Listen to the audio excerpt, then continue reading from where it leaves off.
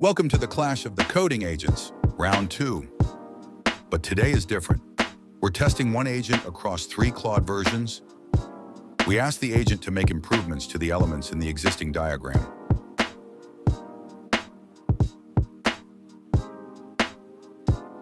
Here's what the supply chain looked like before.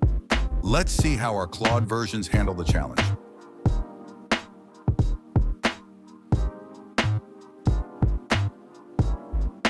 Claude 4.0 was fast, but hit a snag, failing to realize demo utils was already installed and got stuck on something that should have been quick.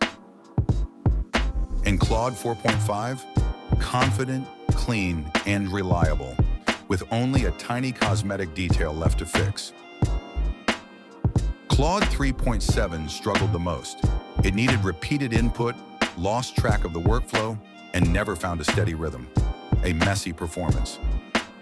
So in this Claude showdown, the crown goes to Claude 4.5, the most polished and dependable of the three. Congratulations. Got a suggestion for a